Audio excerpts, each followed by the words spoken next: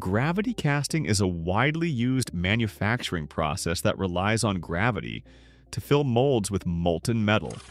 The quality, precision, and cost of the final product greatly depend on the type of mold selected.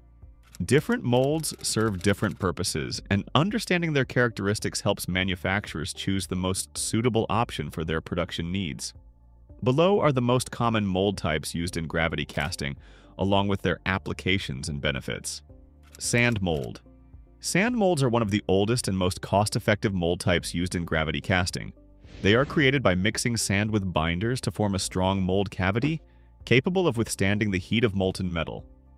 Sand molding is especially useful for low-cost, single or small batch production, making it ideal for manufacturers who need flexibility.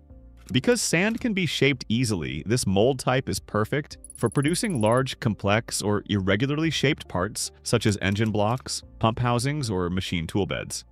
Despite offering lower dimensional accuracy compared to metal molds, sand molds remain popular because of their affordability and versatility. Permanent mold slash metal mold. Permanent molds, also known as metal molds, are made from durable materials such as cast iron, steel, or aluminum alloys. These molds are designed for repeated use, making them suitable for medium to high volume production.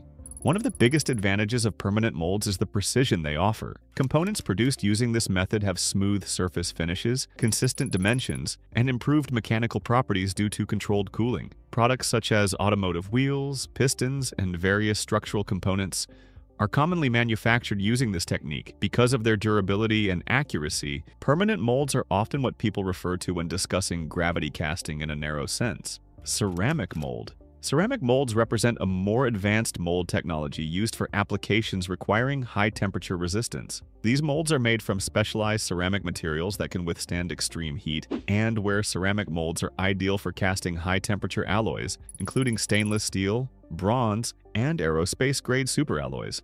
They offer excellent surface quality and dimensional precision, making them suitable for complex, high-performance components. This mold type is commonly used in industries such as aerospace, energy, and precision engineering. Clay mold. Clay molds are a more traditional form of mold making and are less commonly used in modern gravity casting. Historically, they were used for simple shapes and smaller production volumes. While clay molds offer flexibility in shaping, they lack the durability and precision required for modern industrial applications. As a result, they are now mostly limited to artistic casting or small-scale specialty work. Each mold type in gravity casting serves a distinct purpose, and the choice depends on factors such as material requirements, production volume, precision level, and cost considerations. Understanding these differences ensures manufacturers choose the most efficient and effective method for producing high-quality cast components. If you are interested in watching videos like this, don't forget to like, share, and subscribe to our channel, and give your opinion in the comment section. We'll see you in the next video.